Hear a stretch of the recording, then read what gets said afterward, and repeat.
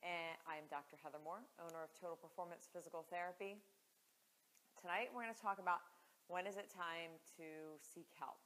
Um, unfortunately, uh, not a lot of people know the answer to this question, and it's the reason why people wind up spending a lot of time in therapy uh, as opposed to just kind of a quick tune-up and then uh, hop on out. Uh, one of the things that I get is that as we get older, we wind up waking up with lots of aches and pains. Um, you sleep in a weird position, your back hurts, your neck hurts, you know, you sleep on your shoulder wrong, you know, you pick up your kid weird one day and something aches, you hear something pop. And when do you know, well, what is, when, when is it a problem? Because you're not going to run to the doctor every time there's an ache and a pain. You're not going to be in my office every time something hurts. And it would be ridiculous to think that you would. So how do you figure when is the appropriate time? So right off the bat, I usually give it two weeks. If you feel pain and you know that there is uh, something going on, and we all know when there's something going on. Um, you know, we, we reduce how we do things. We consciously say, hey, you know what, I'm not going to lift overhead with this shoulder because it hurts, or I'm not going to run as far tomorrow because I know my knee is going to hurt, or things like that. Or I'm going to do a couple of stretches I found on the internet. And what happens is, is over this two week period, it's either going to get worse or it's going to get better. And if you are splitting hairs with yourself, and if you say, you know what, I think it's getting better, I'm not real sure, it's not getting better. If you haven't made some clear cut jumps in uh, what you are able to do, or you are no longer limited, then it is not okay and it needs to be you need to be treated for it. Now a lot of times it doesn't occur over weeks, it occurs over months. So here's kind of my little bullseye and this is how I draw when I kind of try to explain this to people and forgive my drawing. I'm a PT, I am not an artist. So here's we have outer rings and we have inner rings. Okay. So if we put on the outermost ring all of our higher level activities, running, gardening,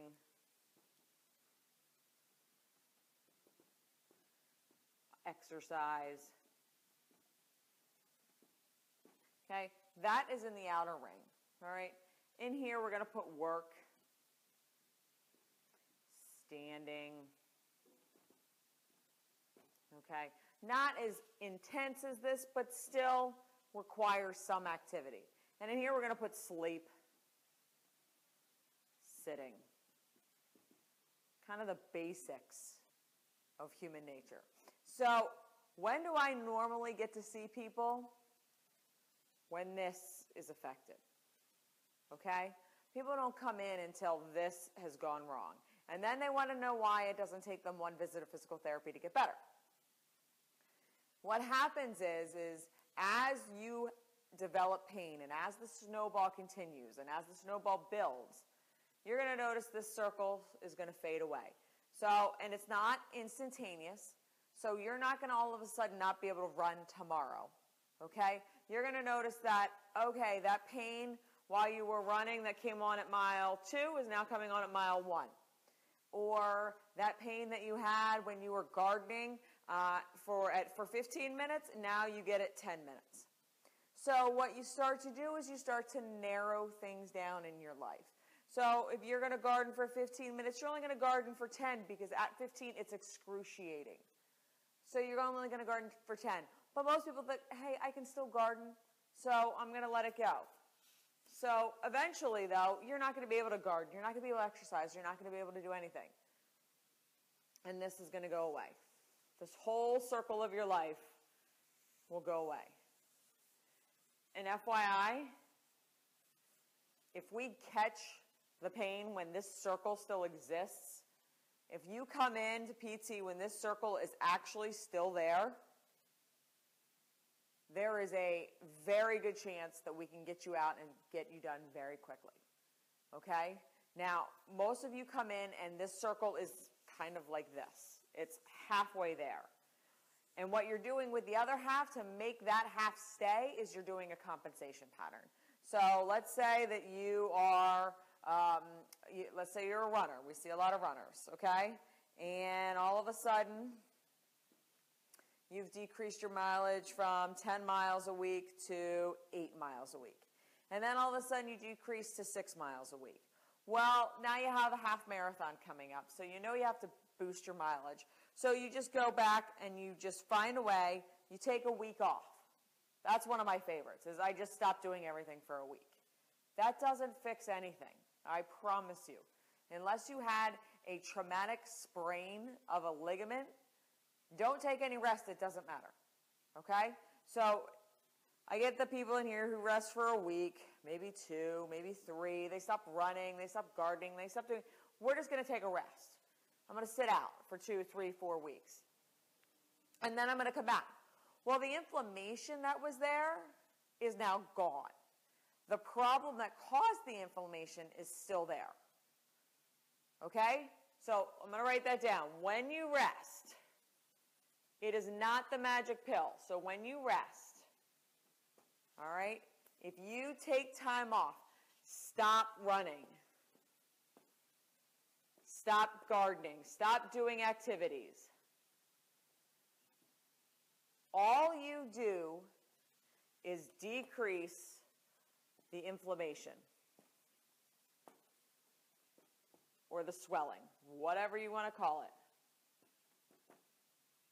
That's it. You're like, great, it doesn't hurt. It's not swelling. That's what you ultimately want to do. You did not fix the problem.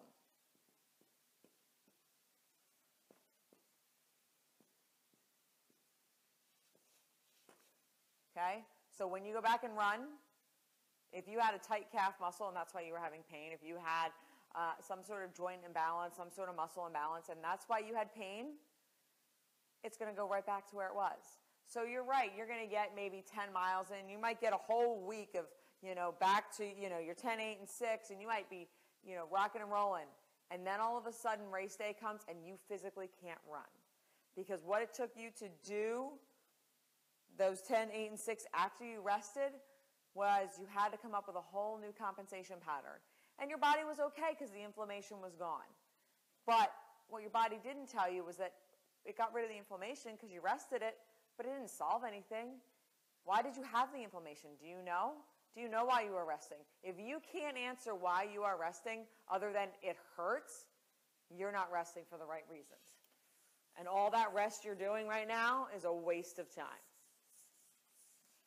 All right, so then, so we have all this, so then this circle goes away. So now we start to see a lot of people come in right about now because a lot of quality of life has gone away.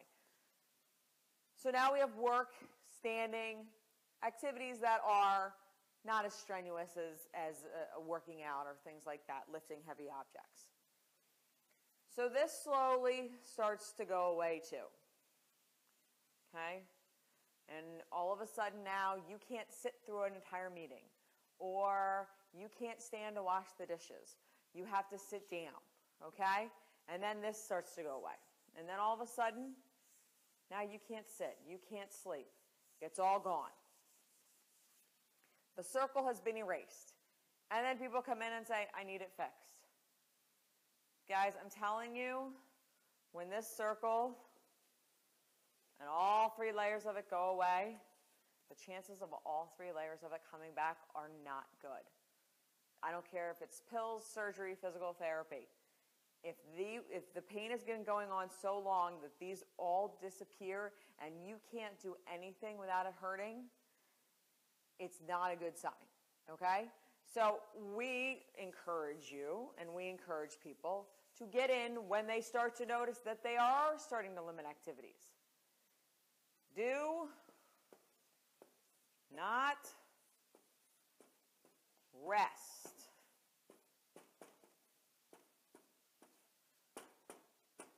Do not change how you're doing things. Do not stop doing things thinking it's going to fix anything.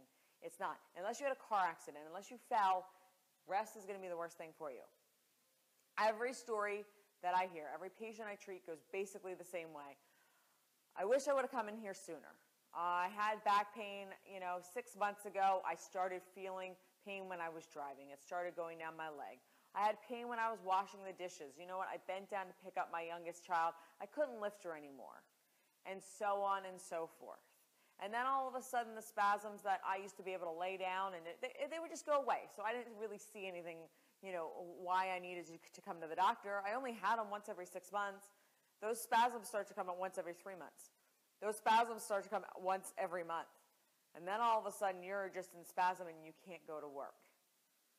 So there's a very slow sometimes, sometimes it's quicker, it depends on who you are and what your activity level is. But it really depends uh, on, on those things, but it will eventually snowball. The snowball does not stop. If you notice that you have pain, that you remember the last time you had pain, and I'm not talking about a pain like you slept in a bed a, a, different bed, you used a different pillow, you woke up, you had a crick in your neck, you know, you're on vacation, and for seven days straight, you woke up and your neck was sore. Okay, we know why. Chances are you're going to go home, you're going to go back to your own bed, and you're going to feel great.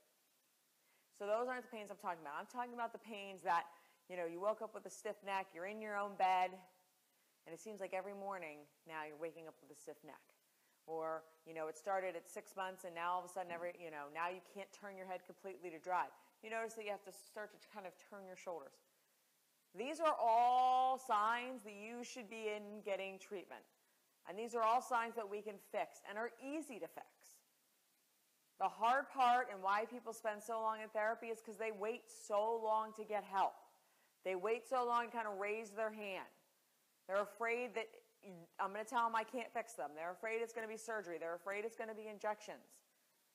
Fear keeps people out of this office a lot, and maybe fear of the elbow, but that's another story. Um, but don't wait to get something treated. Okay? Rest isn't the answer. You're going to rest this thing for a month until you can't run anymore, and then you're going to come in and say, "Now I'm now I'm two months behind," and I'm going to say, "Well, now you have to keep resting because there's nothing really we can do to get you back on the road right now. You've been resting for so long." So when something hurts, Okay? If you notice it and you remember the last time it hurt, you need to address it. You need to take care of it. You need to make sure that you are taking the appropriate steps. I don't care if you do go on the internet and Google something and, and try and, and do that. But guess what? Have a plan. Like if this doesn't work, I'm going to try these exercises that Heather showed me to do. Those things should be fairly quick. You should get relief within a day or two. If you are trying an at home online treatment, it should be a quick at-home online treatment. Anything offered online is a quick fix to a simple problem. If yours doesn't go away or you don't notice that it's diminishing, it can't be fixed online. You actually have to go see someone. And the, and the quicker you can get in to see someone, the less time it's going to take. So if you take nothing else away, take this away. Do not rest. Don't rest your injury. Don't stop running. Don't stop gardening, okay? That's the worst thing you can do. Come in, have it checked out. In the comment section, I'm going to post a uh, link for our free consult. If you want to come in, we'll check it out. We'll see what can you do. Sometimes it's not a whole regimen of physical therapy. Sometimes it is just an exercise. Or, you know, do this at home and you're going to be fine. The sooner we get to an injury, the sooner we get to a pain, the sooner we are able to say, see you later. You know, it takes us very little time to fix things if it's not compounded by months and years and, and weeks of compensation. So again, if you are in this limbo, if you've started to rest or you're like, I don't know if I should get this looked at, fill out the form, click the link, fill out the form. We'd be glad to take a look at it for you. Get it taken care of. The sooner you get in, the sooner you get out.